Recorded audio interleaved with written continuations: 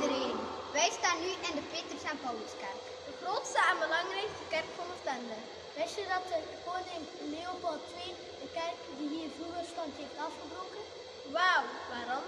Omdat hij het niet passend vond voor Oostende. We- oh nee, maar wij hebben wel een nieuwe kerk gebouwd. Jazeker, en deze is super groot en mooi. Weet je wat ik het mooiste vind aan de kerk? Nee, wat? De, de gekleurde ramen met de oude koningen erop geschilderd. Ik vind het heel mooi. Oh ja, superleuk. Wist je dat de blinde mensen de Petrus en Pauluskerk ook kunnen zien? Echt, hoe dan? Er staat buiten een maquette. Zo tof. Mijn ouders komen altijd naar de Petrus en Paulusfeesten die hier voor de kerk plaatsvindt. Ja, de mijne ook. Zo, en kom, we gaan naar de volgende stap.